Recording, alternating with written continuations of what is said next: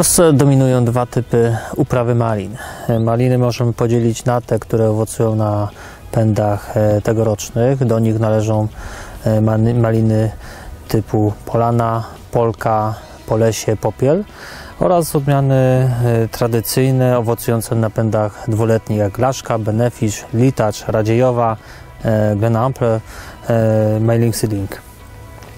E, znajdujemy się teraz e, przy, przy malinie e, tradycyjnej. Ona jest tutaj już podwiązana, są obcięte pęty przygotowane. Ja zwracam uwagę na, na fakt podstawowych takich zabiegów agrotechnicznych, jakim jest usuwanie pędów. Zwracam uwagę na to, żeby usuwać pędy zasiedlone przez różnego typu szkodniki. Starajmy się usuwać galasy. E, na malinach możemy spotkać e, galasy, czyli narośla e, powstałe wskutek żerowania larw przeziernika oraz pryszczarka. Takie pędy w pierwszej kolejności powinniśmy usuwać. Dla dobrej, lepszej zdrowotności samej rośliny powinniśmy też usuwać pędy, które porażone są przez różnego rodzaju grzyby. Jeśli chodzi o malinę mm, tradycyjną, e, taką najgroźniejszą chorobą pędów to jest e, zamieranie pędów malin. E, istotną sprawą jest to, żebyśmy teraz w okresie przedkwitnieniowym poprawnie wykonali lustrację. My jesteśmy na plantacji maliny tradycyjnej. Wiemy, że w tunelach już pierwsze maliny tradycyjne przygotowując się bezpośrednio w okres e, kwitnienia, więc w tunelach trzeba to wykonać e, czym prędzej, żeby to e, przygotować się i plantacja była przygotowana do w czasie kwitnienia, żeby w czasie kwitnienia nie wykonywać zbędnych zabiegów ochronnych przeciwko szkodnikom. Tutaj, jeśli chodzi o malinę tradycyjną, należałoby zwrócić uwagę w w okresie przedkwitnieniowym na ewentualnie występujące mszyce. E, później pojawią się e, kwieciaki. E, też ważną sprawą jest ochrona malin przed przeziernikami w późniejszym czasie, czy też całą grupą pryszczarków. Starajmy się usuwać wszystkie zbędne pędy, usuwać także pędy, które, na których znajdują się zmumifikowane owoce.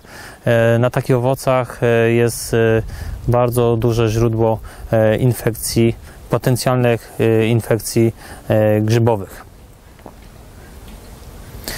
Dodatkowo w tym momencie trzeba byłoby przeprowadzić lustrację liści na obecność szpecieli, może niekoniecznie szpecieli, ale przędziorków, przędziorka chmielowca. E, w tym celu najlepiej jest wykorzystać e, lupę z powiększeniem 10-20-krotnym lub też e, jest prosta metoda, taka metoda właściwie mechaniczna, polegająca na tym, że takie właśnie liście przykładamy do białej kartki, na której ewentualnie mogą odbijać się przędziorki, które zasiedlały liścia.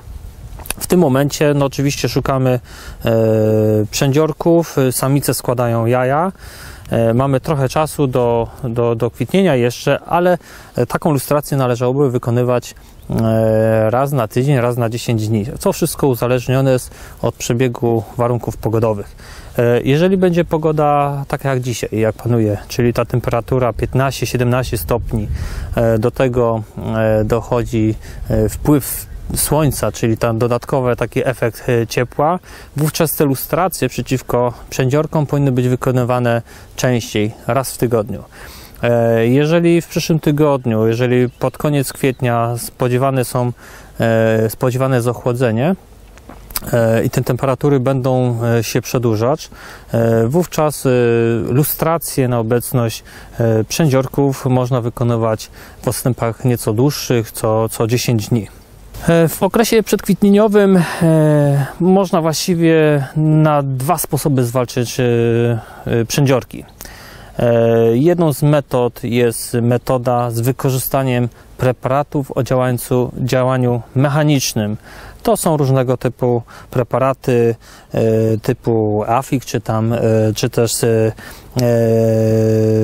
Emulpar, czy też Siltak. Drugim rodzajem to jest oczywiście ochrona chemiczna. E, jeżeli zagrożenie w okresie przedkwitnieniowym jest e, na małym poziomie, jeżeli jest małe ryzyko e, wystrzału dużej ilości szkodników i pokazania się w innym momencie, wówczas myślę, że najlepszym rozwiązaniem jest ta metoda z uwzględnieniem preparatów o działaniu mechanicznym. W późniejszym czasie, w okresie pokwitnieniowym, wówczas mamy do dyspozycji preparaty typowo chemiczne.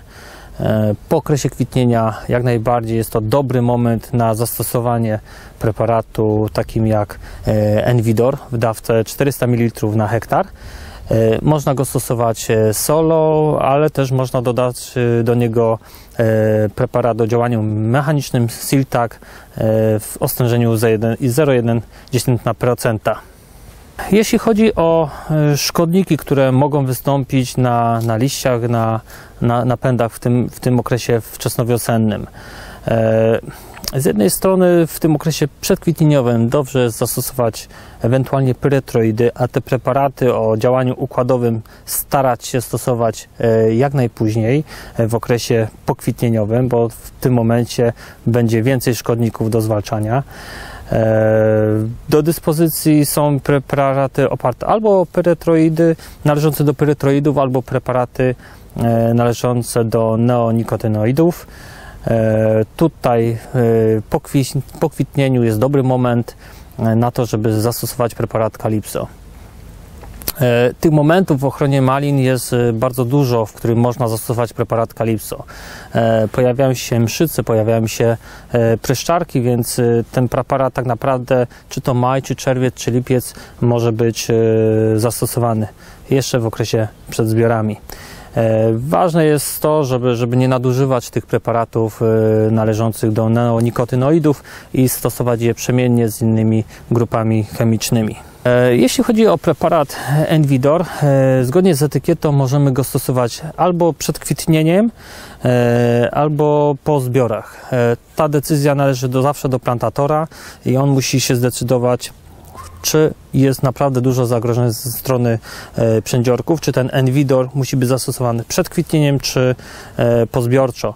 E, jeżeli zostanie zastosowany przedkwitnienio, przedkwitnieniowo, e, wówczas trzeba bezwzględnie zwrócić uwagę na, na fakt e, dobrego pokrycia liścia cieczą użytkową.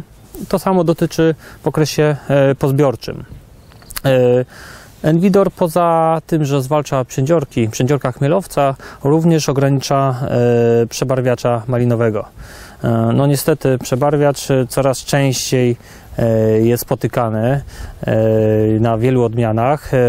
Jest to mniej więcej spowodowane tym, że wiele plantacji w Polsce jest stworzonych z, z materiału, który jest e, materiałem niekwalifikowanym. E, Pochodzi z nielegalnych szkółek, e, z tak zwanych pirackich. Nikt tam nie przestrzega mm, zwalczanych, zwalczania szkodników, chorób. Występują bardzo często choroby wirusowe, więc jak najbardziej odradzam wszystkim kupowanie materiału z niepewnego źródła, niesprawdzonego.